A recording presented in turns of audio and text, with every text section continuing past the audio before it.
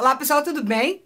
Bom dia! Tô aqui me arrumando para ir pro hospital, né? Quem acompanha lá no Facebook sabe que ontem eu fui levar meu neto Lucas para o médico porque ele tava com uma espinha bem aqui assim, ó, e o rosto dele ficou todo inchado. E aí a médica tomou um susto muito grande porque segundo ela nessa região tem uma veia muito importante, passa uma veia muito importante que vai para o nosso cérebro. E como a infecção estava muito forte, podia é, é, comprometer essa veia e dar um problema mais sério, paralisar parte dos movimentos do corpo dele. Enfim, já contei para vocês aqui que os médicos suíços, apesar de não serem muito bons no que fazem, eles são muito precavidos assim. E ela mandou imediatamente para o hospital, a gente foi e o resultado foi que o Lucas acabou internado para tomar antibiótico na veia para que haja mais rápido e sofreu uma pequena como que fala? Não é uma cirurgia. Eles furaram aqui a espinha e fizeram uma sucção. Saiu muita coisa lá de dentro e ele provavelmente saia ou hoje até o meio-dia, se o médico achar que já está bacana, ou amanhã. No mais tardar, amanhã ele sai do hospital. E claro, né, a Camila dormiu lá com ele, a mãe dele dormiu com ele. E eu vou, a Camila agora tem que trabalhar e vou eu, vou só esperar o Pedro chegar da escola para a gente ir para o hospital. E aí eu vim me maquiar com vocês, para mostrar para vocês como que eu vou maquiada para o hospital. Maquiagem para ir ao hospital. Tô tipo a Alice Salazar. A Alice está fazendo maquiagem para varrer a casa, maquiagem para arrumar o guarda-roupa. e eu vou fazer maquiagem para ir ao hospital, tá? Bom, eu vou misturar minhas duas bases favoritas do momento, que eu já falei para vocês que elas têm uma textura parecida, ficam sequinhas e tal. Essa aqui da Charlotte Tilbury e essa aqui da Catrice, tá? Eu estou apaixonada pelas duas. E aí nós vamos aproveitar também para provar juntas, ó, o pincelzinho lá da China, tá? Que eu estou gostando muito. Deixa eu tentar mostrar para vocês como que eu faço, tá? Eu pego um pouco dessa base que tá bem branquinha, ó. Tô adorando essa base por conta do aplicador.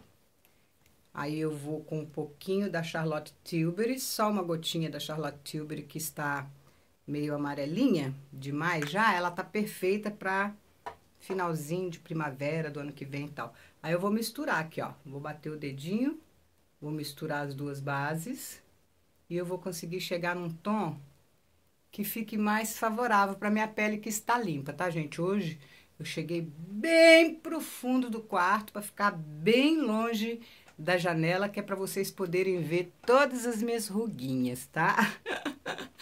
Ai, ai, é cada uma que a gente escuta nesse YouTube que tem hora que até Deus duvida. Aí eu aplico aqui, ó, a minha misturinha. Meu, meu espelhinho tá aqui. Então, aqui no canal a gente faz assim, a gente mata a cobra e mostra o pau. Gente, eu, vocês falam que a minha pele é boa. Minha pele é boa, sim, com certeza, para uma mulher de quase 50 anos, que nunca fez plástica, que nunca fez botox, que nunca fez laser e tal, que nunca colocou fio de nada, mas tem sim, tá? Bastante ruguinha. Ruguinha, eu não sei se é ruguinha, eu acho que não é ruga. É pele flácida mesmo aqui na área dos olhos que eu estou ensaiando para fazer uma blefaroplastia. Gente, eu já vou adiantar para vocês que o único ruim deste pincel é que ele suga muita base, tá? Muita mesmo. E eu, particularmente, prefiro os outros que a gente vai fazendo assim. Eu acho mais prático, entendeu? Tá branco aí, né? Mas calma que isso tudo vai chegar no lugar. Vou misturar mais um pouquinho de base, porque o pincel sugou toda a base. E olha, tanto faz a ordem. Agora eu apliquei primeiro a Charlotte e vou aplicar segundo a Catrice. Misturar.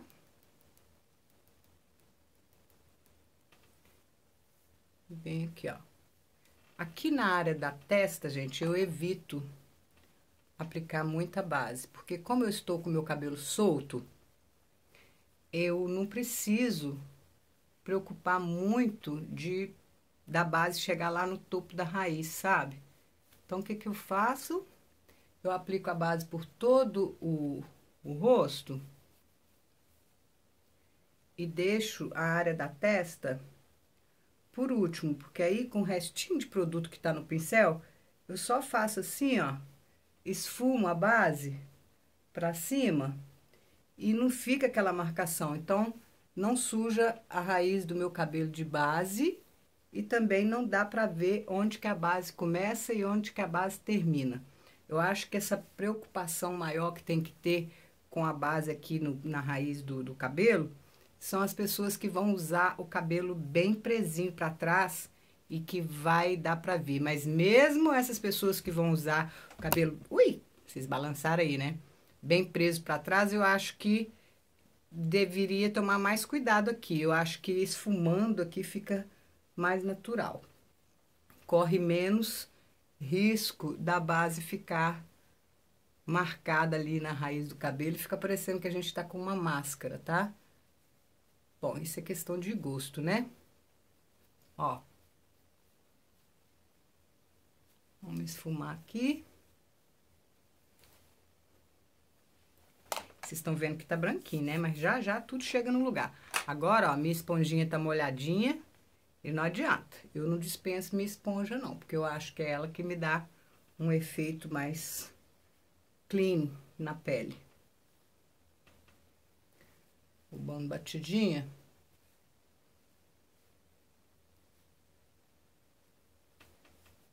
Tô olhando aqui no meu espelhinho, tá, gente? Agora, o que que eu vou fazer? Vamos lá no truque do contorninho com a base mais escura. Vou pegar essa aqui da Avon, ó, que eu ganhei da minha amiga Janaína Jacobina. E eu vou pegar minha esponjinha. Só dou toquezinho leve na base e vem, ó. Adorei esse negócio de gravar mais pra trás aqui, que vocês conseguem enxergar melhor o que que tá acontecendo aqui. É aquele ditado, né? Tem hora que até quem vem para atrapalhar acaba ajudando. A gente pega as críticas que são mandadas no ar para nos ofender e transforma elas em benefício para nossa vida. Ó, já vai dando uma bronzeada.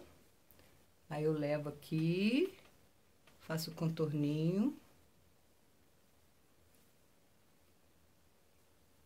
Depois que eu sair do hospital, com ou sem o Lucas, eu pretendo bater uma perninha no shopping com o Pedro, porque hoje é quinta-feira, vocês sabem, né? E pronto, ó, agora eu vou pegar meu dedinho de sempre. Toquezinho na base. Aqui no meu nariz. E vou esfumar com o próprio dedo. Pode ir com o dedo bem levinho para não tirar nada do lugar, para não tirar sua base do lugar. E você faz sua marcação. Você tenta vir mais para cima aqui possível, tá? Não faz muito aqui na lateral, não. Faz bem em cima, assim, ó. Quase chegando no topo do nariz. Essas coisinhas assim eu aprendi com aquele rapaz lá da, acho que é Inglaterra, né? O Wines, Waynes, que antes o canal dele chamava Goss Makeup Artist, ele mudou o nome. Gente, eu não pretendo fazer maquiagem nos olhos, mas eu quero fazer um delineado. Então, eu trouxe aqui rímel, delineador, vou usar essa canetinha aqui da L'Oreal, que já apagou também o nome. Eu confesso para vocês que eu sou tão viciada num marronzinho aqui. Deixa eu pegar um pincelzinho. Um marronzinho, gente, que a gente faz com o próprio bronzer, ó. E dá um efeito bacana, tá? Só toco o pincel aqui, tiro o excesso. E ó. Deu aí pra ver? Que dá uma corzinha básica, mas que já dá uma levantada na nossa moral aqui, ó, principalmente nós madurinhas, já dá uma levantada aqui no olhar e disfarça a nossa pálpebrazinha caída. Não vejo a hora de ir jogar as pelanquinhas pro gato.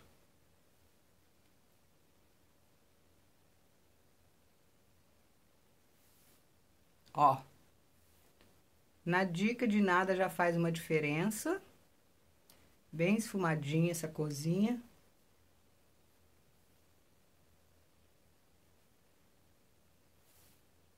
No, dá pra ver? Acho que dá, né? Hoje dá, porque tô tão pertinho, desculpem. De manhã é desse modelo, pigarro. Agora a gente vai pegar o nosso bronzer. Eu adoro esse pincel da Make Me. E vamos bronzear esse aqui, ó. Porque lá fora tá cinza, não tá chovendo, não tá muito frio, mas é um dia cinzentado, né? Típico de inverno que já começou por aqui. Esses dias, esses dias tá meio quentinho, mas, mas quentinho para nós aqui da Suíça. Para quem tá no Brasil, 6 graus é frio, né, gente? Eu sei como é que é. Ó, dá uma bronzeada. Já aproveita e dá uma bronzeada por aqui também.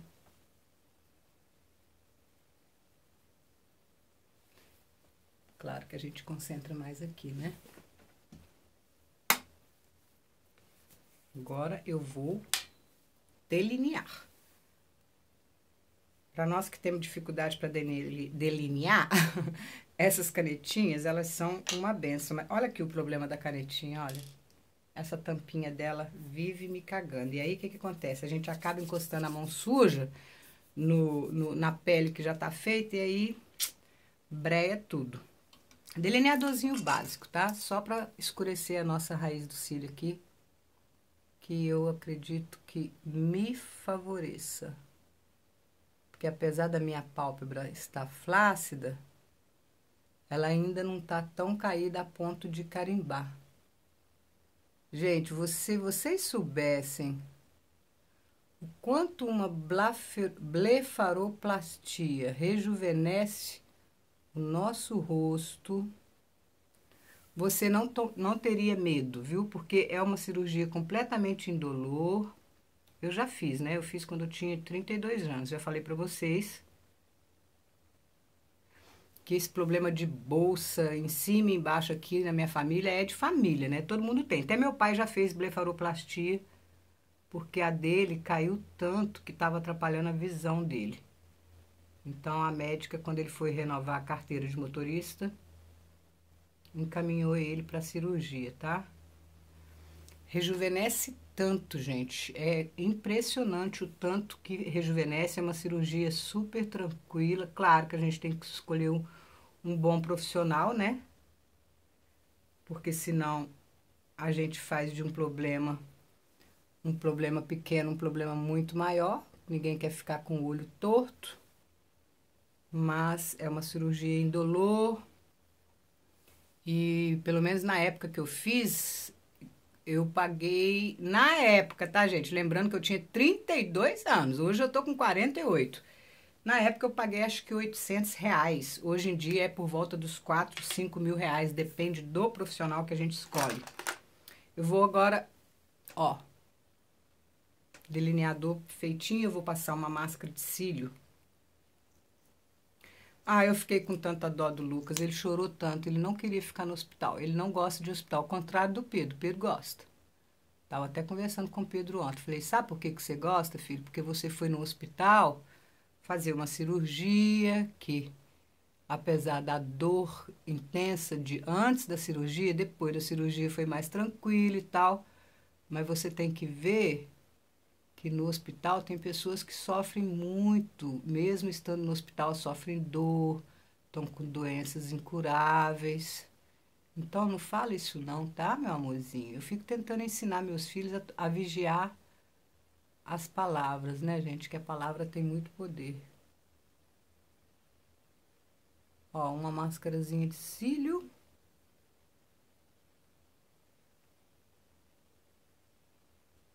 Básicazinha. Ah, eu quero aproveitar enquanto a gente está conversando fiado aqui, mandar um beijo para Deco Decoyarte, que é o, o avatar dela no YouTube. Nossa senhora, eu esqueci. Quero mandar um beijo para Flávia.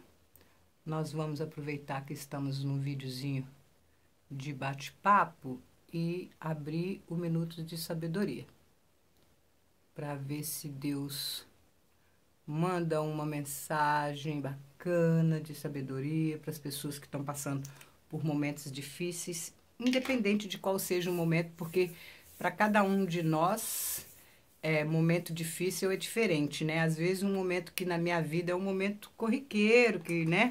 Dependendo de tudo que a gente já passou na vida, a gente aceita de, determinados momentos como normais e para outras pessoas um momento que para nós é um momento tranquilo, para outra é um momento super difícil. Estou aqui passando um um lápis marrom na linha d'água. Gente, eu já toda vez que eu faço vídeo assim de me maquiando, tem alguém perguntando se eu tenho maquiagem definitiva. Gente, eu já tenho até vídeo específico para isso onde eu conto que eu fiz maquiagem definitiva, fiz nos, nos lábios, fiz na, na linha d'água, fiz na sobrancelha, só que da linha d'água já praticamente apagou, a do lábio já praticamente apagou, ó. Então, eu fiz sim, meus amorzinhos. Deixa eu fechar minha base aqui antes que eu esqueça ela aberta. Agora eu vou usar o meu um, corretivo. Tô aqui olhando pro meu espelhinho e, ó, só aqui nessa linhazinha onde fica mais escurinha, tá vendo? Ó. Só um pouquinho. Quanto mais produto eu coloco aqui nessa areazinha do meu olho, mais marcado fica as linhas, tá? Que eu, pelo que eu vejo por aí, eu, na verdade, eu não tenho ruga necessariamente nessa área aqui. O negócio é que eu tenho a pele muito flácida nessa região e acaba ficando cheio de linhas. Mas já já eu chuto isso que é macumba. Tudo que eu não gosto na minha vida que me incomoda, a primeira oportunidade que eu tenho, eu chuto. Cadê minha esponjinha de base? Vou pegar a esponjinha com batidinha. Dar uma espalhadinha aqui. Deixa eu pegar o, a bundinha. Altas caras e bocas aí, né? Tirei o excesso, agora eu volto com o dedo, ó. Flexionando um pouquinho. Só mesmo para dar uma iluminada, tá vendo? Eu acho que fica melhor, pelo menos para quem tem isso aqui flácido como eu, investir só aqui nesse cantinho e evitar fazer aquela coisa Kardashian que as novinhas fazem, que para nós madura, dependendo da textura da pele, não acho que é bacana não. Pelo menos para mim, tá? Vamos dar uma ajeitada na sobrancelha, só com batidinhas. Tirar ali a restinho de base que fica, né? Eu deixo ela ali para ela fazer de conta que é cabelo, dar um certo volume, ó. Quem, faz, quem fez a minha sobrancelha aqui na Suíça foi a Gleice, tá, gente? Lá de Zurique. Pra galera de Zurique aí. A Gleice atende lá na Langstrasse, lá no finalzinho da Langstrasse, quase esquina com Badenstrasse. Ela tem o estúdio dela em cima do banco. Como que é o nome do banco? Aí é que tá, Cantonal Banco pentear.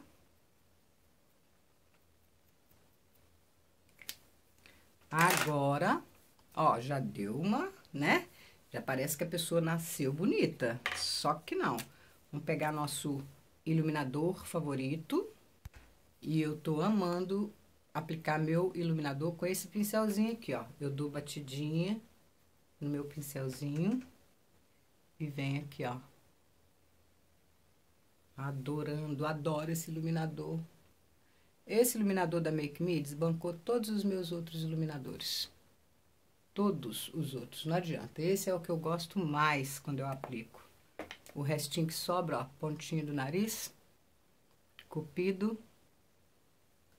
Agora, o seguinte, esse iluminador, ele é um pouquinho mais glitterinado do que os outros. Amei, amei esse negócio de sair da frente da janela. Olha como que vocês estão conseguindo ver melhor a minha maquiagem. Adoro! Bom, agora eu estou pronta para uma maquiagem bonita, usável em qualquer ocasião. Isso vai sempre depender da ousadia de cada uma.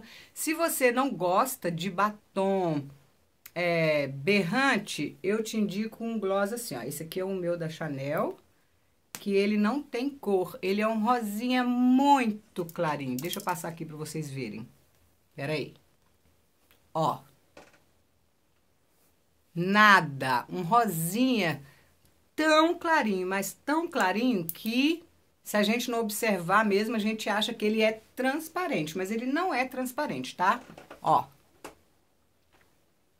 Ele é um rosinha, mas eu não sou muito adepta, pelo menos não nessa, é, nessa estação do ano, coisa muito clarinha no lábio, não. Eu preciso de um pouco de cor, tá? Porque eu fico muito amarela. Vocês estão vendo como a gente já vai desbotando toda? Então, deixa eu tirar esse gloss aqui. Eu prefiro um batom mais berrante, tá? Vou usar o vermelho intenso da Ricoste. Eu não trouxe o delineador, o lip liner. Vou usar esse aqui, ó, que a Marta me deu de presente. Marta Oliveira, lá da Espanha. Brasileira que mora na Espanha, tá sempre aqui no canal. Vamos dar uma delineada aqui. Cupidinho primeiro.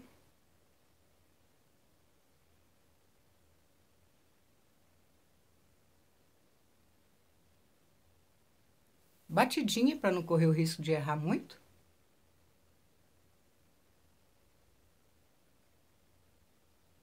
Não me pergunte por quê, gente, mas se você usar o lip liner, ele barra ali o seu batom líquido na hora de aplicar e, e é como se ele criasse uma espécie de paredinha e você corre menos risco de ficar com batom torto no lábio, tá?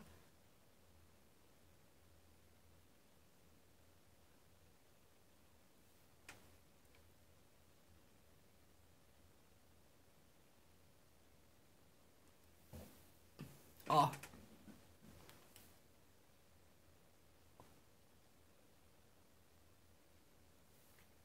Uma leve preenchida. Aí eu venho com batom tiro o excesso. E vamos lá, eu começo por baixo.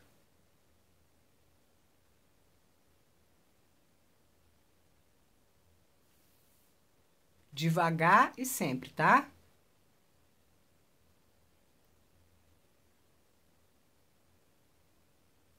Acreditem se quiser. A pessoa é louca por batom, a pessoa tem mais de 200 batom, mas não consigo aplicar batom correndo, não. É com calma.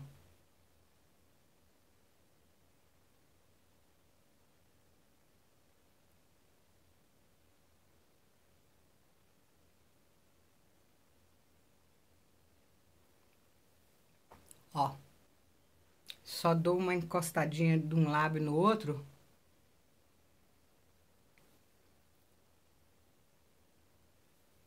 E é aquilo que eu falei para vocês, os batons da Ricoste, pelo menos no meu, nos meus lábios, eles não secam completamente, tá? Não vira aquela tinta. Mas é super confortável, tem uma textura veludada, ótima pigmentação. Então, é uma questão de gosto. Se você prefere um batom que vira uma tinta mesmo, que gruda, que para sair dali só com demaquilante é, bifásico, não é o caso, pelo menos, dos da Ricoste. Lembrando também que os 21 batons que eu tenho da Ricoste são da primeira gama. Eu não sei se os outros que eles criaram depois é, mudou isso, tá? Então, ó, maquiagem finalizada. Deixa eu só fazer assim pra ajeitar aqui o cantinho. Tô bem maquiadinha, tô bonitinha, tô arrumadinha. Vou mostrar o look pra vocês. Deixa eu soltar o pichuzinho, que hoje eu dei uma arrumada nele. Não lavei, só dei uma molhada nele, sequei com secador. E ele continua com volume, porém de um jeito que eu gosto mais, tá? Deixa eu arrumar aqui para trazer vocês para mostrar como que eu tô vestida. Agora eu tô parecendo fantasma, né? tô na beira da janela. Então, ó, é assim que eu tô vestida, vou lá no hospital. Esse macacão é um macacão bem antigo que eu comprei da Zara, eu acho que é uns dois anos atrás. Eu tirei o cinto, porque eu prefiro ele assim soltinho. Eu tô com aquela botinha preta da H&M, ó que apesar do salto é super confortável. Se você não gosta do batom assim, modelinho meio que cagadinho, eu gosto. Eu acho que fica mais despojado. Você pode pôr um cinto. Eu não tenho aqui agora um cinto preto, porque a Luana não deixa, né? Ela adora cinto preto, ela só nunca lembra de comprar. Mas tudo bem, eu não vou mais brigar com a minha filha por causa disso, eu cansei. Eu não sou muito de usar cinto também não, então nem ligo. Mas faz de conta que você quer um cinto preto, você pode pôr o cinto e vai ficar com o macacão um pouco mais arrumadinho. Eu prefiro sem cinto, tá? Prefiro assim, mais despojado. E pras que adoram um perfuminho, que da outra vez que eu fiz um vídeo assim, falou, mas qual perfume você usou? Deixa eu escolher aqui um perfume. Bom, a gente está indo para o hospital, né? Então eu escolhi esse aqui, Si, da Giorgio Armani, que é um perfume marcante, bem gostoso, mas se, se a gente souber dosar direitinho, ele fica é, suave, tá? Estou indo para o hospital, então eu vou usar perfume só para mim e para quem me abraçar. Não tem necessidade de usar aquele perfume que eu vou deixar o rastro dele por onde eu passar, entendeu? é até deselegante, né? Esse negócio de perfume que, que estoura para todo lado e onde a gente passa fica o nosso rastro. Isso é até deselegante, tá, gente? Principalmente se a gente estiver indo para um lugar igual eu estou indo agora, para um hospital, onde tem outras pessoas, tem paciente que pode ser alérgico a perfume. Num restaurante, a pessoa é alérgica, não suporta, tá ali comendo do seu lado. Enfim, tem que tomar muito cuidado até com isso, tá? Esse é o look de hoje, então, para ir para o hospital buscar meu filho. Essa é a maquiagem que eu espero que vocês tenham gostado. Assim ela fica estourada, né? Pera aí. Longe dos holofotes, das luzes da janela. Tá aqui, ó. Essa é a maquiagem. Agora dá pra ver 100% original como ficou a maquiagem. Espero muito que vocês tenham gostado. Bolsa eu vou usar a minha bolsa de todos os dias, aquela da Jope, tá? Eu não vou usar nenhuma bolsa especial para ir lá pro hospital, não. Vou passar a mão na minha bolsa ali e ir embora pro hospital buscar ou visitar o meu neto. Espero muito que vocês tenham... Ah, eu não, não li, né? Minuto de Sabedoria? Peraí. Corri na cozinha pegar meu óculos, ele tá dentro da bolsa. Bom que vocês vão ver qual é a bolsa. A bolsa é essa aqui, ó. Da Yopi. Eu acho que no Brasil fala Jopi, né? Peraí. Então vamos lá, abrir uma páginazinha do Minutos de Sabedoria, não só para Flávia, que está passando por um momento difícil, apesar de que ela teve uma grandíssima alegria. Outro dia o médico é, falou que ela não precisa mais da quimioterapia porque ela está curada. Amém! Que coisa maravilhosa, que notícia maravilhosa. E eu fico muito feliz de saber que eu te ajudei é, com os meus vídeos, tentando levantar cada dia mais a sua autoestima que estava por terra, como você me contou, né? Lá no privado. Amém, Flávio. Eu fico muito feliz com esse feedback, tá? Muito obrigada, inclusive, a todas vocês que me escrevem que eu consigo, mesmo com os meus vídeos gravados de celular, pendurada aqui num pau qualquer, sem ter nada profissional no meu canal, ainda assim eu consigo atingir o meu objetivo, que é, sempre foi e sempre será, ajudar vocês que estão aí me assistindo, homens e mulheres, tá? Vamos abrir o Minuto de Sabedoria. Eu abri na página 14 e 15. Dá um pause, aumenta a tela e leia com seus próprios olhos. E eu vou tentar ler aqui para quem por algum motivo não consegue ler, tá? Mantenha uma atitude virtuosa. Quando você olha para uma pessoa curvada e triste, perde a confiança, porque verifica que está abatida e preparada para uma derrota. Não deixe que ninguém pense isso a seu respeito. Mantenha-se de cabeça erguida, confiante e risonho, e todos confiarão em você. Irradie força e entusiasmo até por meio da atitude de seu corpo. Amém. Que coisa mais linda, gente. Aí, ó.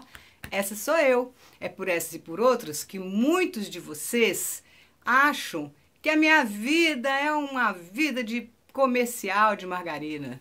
Não é não, gente.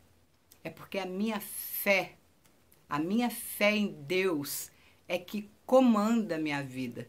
E é pela minha fé em Deus que eu vivo de cabeça erguida e um sorriso no rosto independente dos meus problemas, que eu não venho toda hora aqui contar para vocês, porque já contei em vídeo também que esse tipo de coisa eu só confidencio com Deus, tá? Porque Ele é o único capaz de entender, compreender e tentar me ajudar de maneira sábia, tá? Vamos lá para a página 15.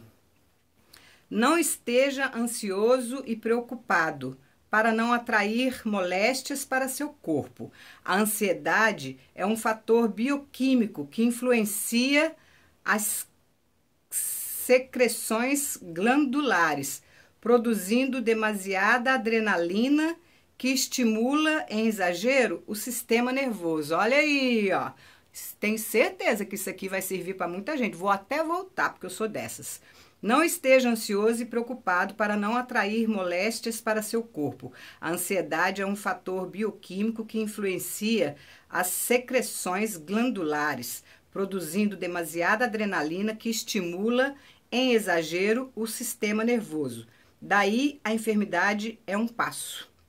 O nervosismo prejudica fundamentalmente a saúde, Portanto, não seja ansioso, faça constantemente afirmações positivas de saúde e mantenha-se calmo e sereno.